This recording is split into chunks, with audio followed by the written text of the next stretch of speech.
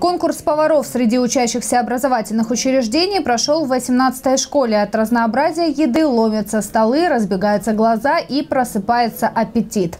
Хотя на некоторые кондитерские шедевры хочется просто смотреть. Все это кулинарное великолепие – результат работы кулинарных клубов. Работают они в 15 школах города уже 5 лет.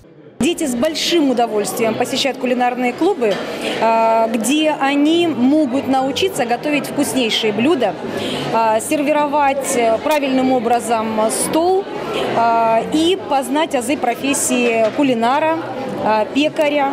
Занятия в кулинарных клубах проводятся в среднем три раза в неделю, а перед соревнованием команды собирались практически каждый день. За, казалось бы, простым школьным конкурсом скрывается долгая кропотливая работа и даже бессонные ночи. Ведь некоторые элементы получались далеко не с первого раза, зато в итоге у каждой команды появилась своя изюминка. Специально яркий колорит выбрали, чтобы как бы сразу в глаза бросалось много таких необычных использовали материалов.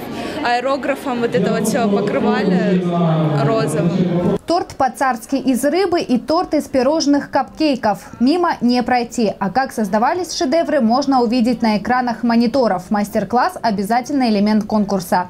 Помимо домашней работы, учащихся ожидало еще несколько заданий. Приготовить холодное блюдо из заранее подготовленных продуктов и создать арт-шедевр за 30 минут. Детки работают уже как профессионалы.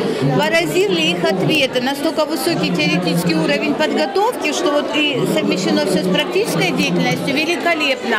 По итогам конкурса в жюри определит лучших. Без лишней скромности кураторы команды сами ребята признаются, для них главная победа. Ведь всеобщее признание дает уверенность в своих силах. Татьяна Говоркова, телекомпания «ФКТ».